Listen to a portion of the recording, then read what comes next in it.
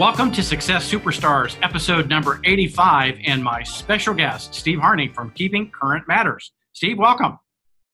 Thank you very much, Mark. I appreciate you uh, inviting me on. It's an honor that I'm here, and uh, you know I understand that your agents get a lot out of these episodes. You're doing a great job on that. So I am truly honored that you asked me to become on uh, your uh, your situation here. So. Yeah, well, I appreciate you taking the time to do that, and you know you are a success story and that's that's what this is all about is success superstar so we're here to celebrate you and your success. Uh, you know uh, keeping current matters has made such a difference uh, in the lives of agents all across the country. And we'll get into that a little bit later but what did you do before you created and founded keeping current matters? Um, well actually directly before that i've been in real estate for about 35 years I was an agent for the first eight years of that 35 years. I was a top agent in my marketplace for my region for the last seven of those eight years. So I did a lot of real estate. So I had a lot of kitchen tables, took a lot of listings, you know, brought a lot of people around my car to show houses. Before we had all this internet, you know, we actually had to go and show them every single house, and that was the first time they saw it. The uh, then from there, I became uh, a manager of um, um, big brand uh, one of the offices is a big brand, um, a national brand, and we became the number two office in that brand wow. as far as transactions were concerned.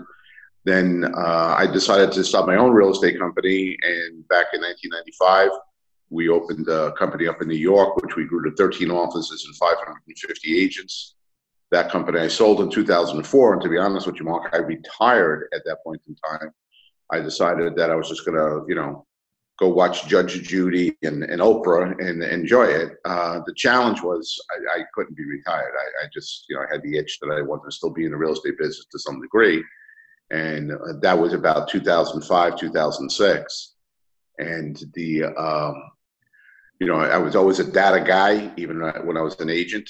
Uh, and I'm not going to say I was a data nerd, but I like looking at the numbers, and the numbers were really scaring me. Uh, so I decided to go out and try to help some of my um, friends who own big brokerages saying, hey, listen, guys, I know everything looks really, really good right now, but look at these numbers. This is going to turn pretty quick. And when it turns, it might get real ugly. Mm-hmm. Some listened, some didn't. Um, but, you know, we helped a lot of people. And then the ones who didn't listen when, you know, things did get ugly, I, I kept on going. So I became like a speaker across the country.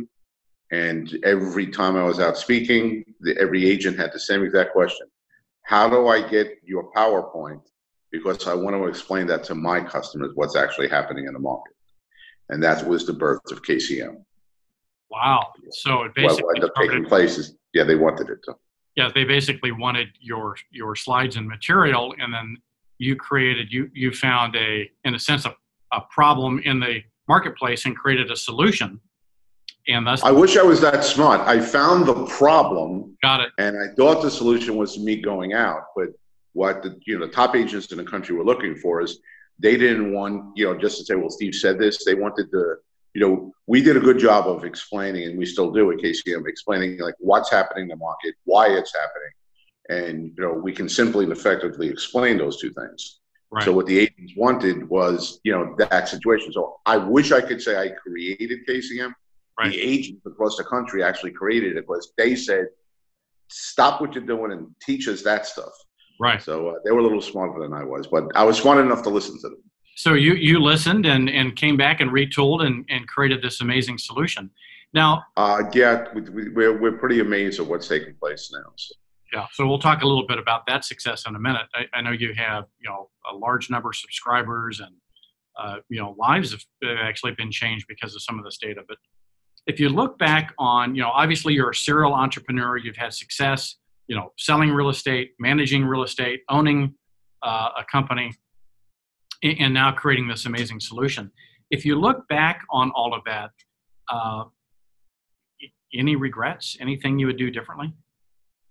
No, that's funny you should ask that question. The only thing I might do is do everything sooner and quicker. Mm. Uh, you know, I would have, oh no, everything I've done in my life, I probably would have done that.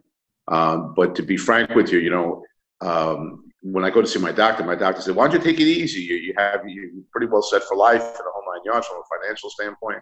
He goes, "And now you can go do what you want to do." When in reality, for the last 35 years, every day I woke up, I did exactly what I wanted to do. this is in my blood. This is in my heart. It pumps through me. So the uh, do I have any regrets? I did it. No, I'm, I, I consider myself very, very lucky that I had the opportunity to every day wake up and and still to this day, every day I wake up and do exactly what I love to do. So uh, no regrets whatsoever. All outside of we probably should have done it a little bit quicker, and we probably should have, yeah, a little bit sooner, and we probably should have done it a little bit faster.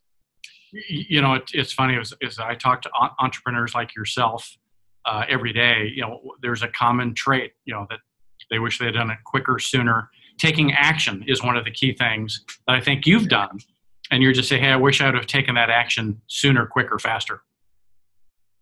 Well, so let's get into KCM a little bit. Tell us, tell us what KCM does and, and how it helps the agent and the consumer.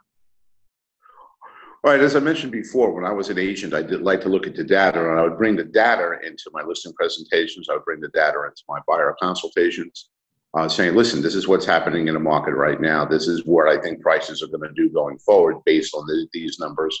Uh, this is what I think might happen when interest rates. This is what people are projecting are going to go forward. So you might want to buy now instead of waiting for rates to go up."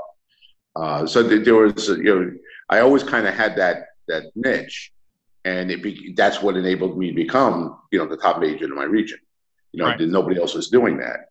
And then um, when I opened my own real estate company and we grew that to 550 agents, we had a meeting once a month where we actually went over the data in the marketplace mm-hmm. so that the agents could again intelligently talk to uh, their buyers and sellers about not just how pretty the kitchen was, or you know what the you know view was from the street. Uh, we t- talked to them about like what's taking place in the market and what's happening. Uh, so that was kind of already in my blood. That's what I had done as an agent. That's what I had done as a manager. That's what I had done as a company owner. Um, what I didn't realize is that in good times, that's crucially important to buyers and sellers to know what's really taking place. In difficult times, it becomes much more than crucially important. All right. So, and a perfect example of that is in 2008, there was a lot what took place there that didn't need to take place. If our industry and the mortgage industry was a little bit more adept at reading signs and reading data and reading numbers, I think that we could have prevented uh, or avoided some of the devastation you know that families went through at that point in time. So that really, you know, we kind of caught it late, you know, uh, as far as actually acting on it. I think we did, as KCM, help a lot of agents, help a lot of families through that process. And for example, like right now, there's a lot of talk about you know economic slowdown. The word recession is in like every headline in every business newspaper. Um, we want to make sure that the agents understand what that means. We want to make sure that they do definitely understand it doesn't mean housing crisis um, and why that is. So what we're trying to do now is KCM, and we're we're accomplishing. It. We're very proud of it. We're helping agents really be that trusted advisor. You know, we believe strongly that you know in difficult times, the great people in that industry, whatever industry it is, they step up Mm-hmm. They don't hide. They don't jump under their bed. They're not afraid to meet customers. They actually go at it. They go at the challenges because they know what's taking place.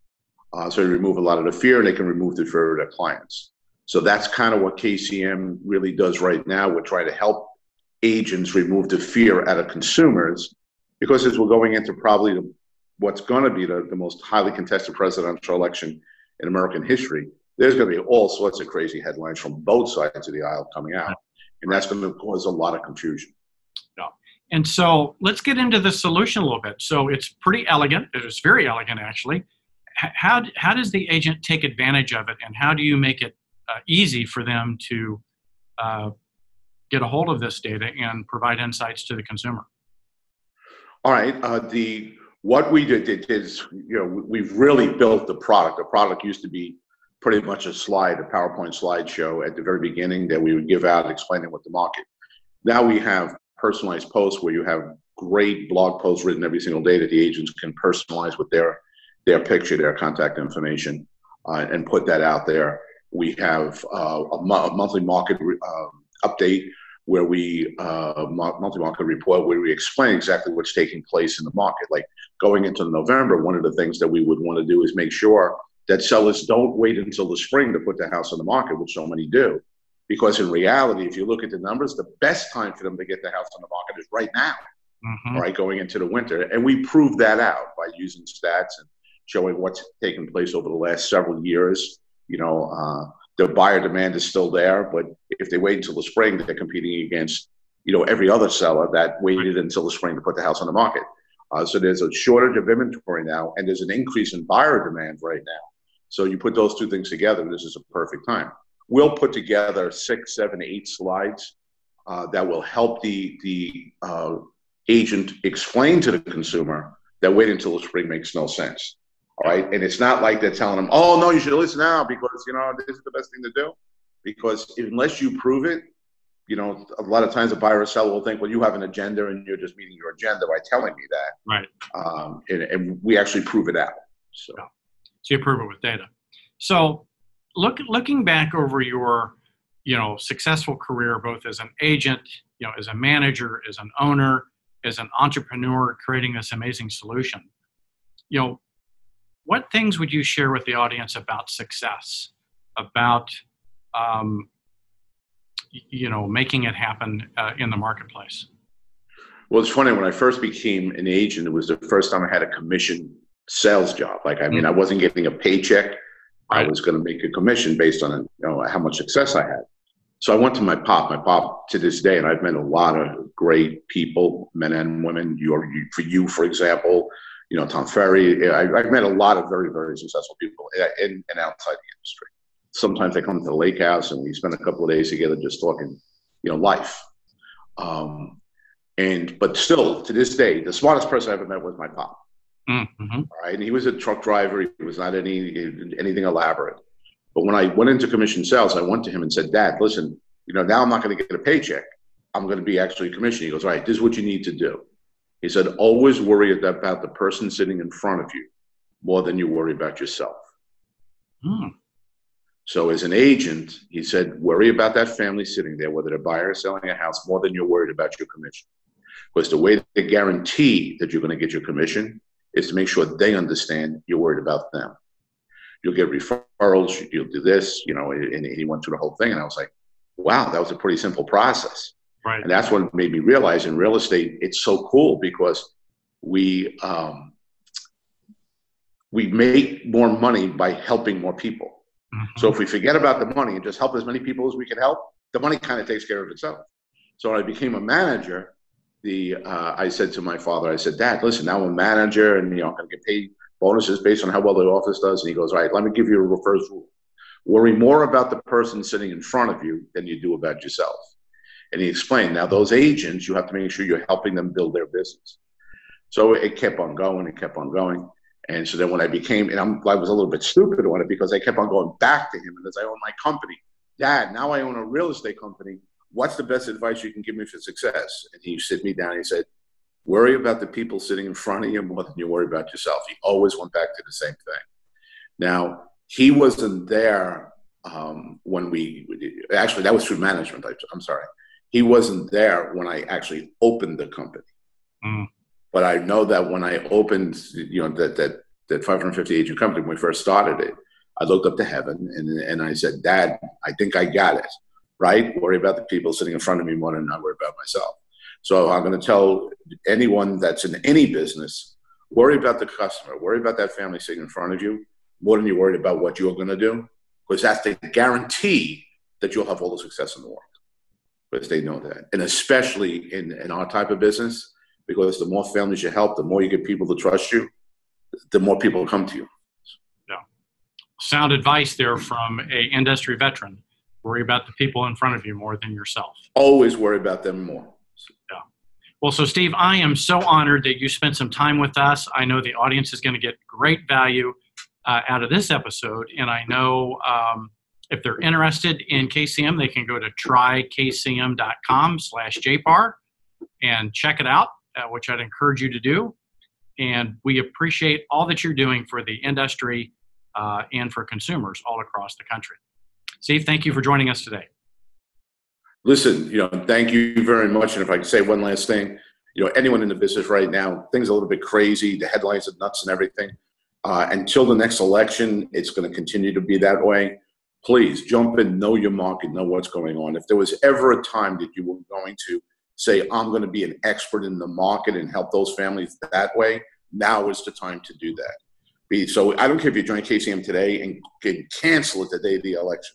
Please make sure that for that period of time, you know what's going on because we can. To that, this, this economic slowdown is going to be anything like 2008. We know that already. But whatever it is, we can make sure it doesn't have as as negative an impact if we can take away some of the fear and some of the panic of the consumer. And the only way to do that is intelligently explain simply and effectively what's actually taking place. Well, So, well, guys, you have a moral obligation to do that. Let's go out and make sure we get it done.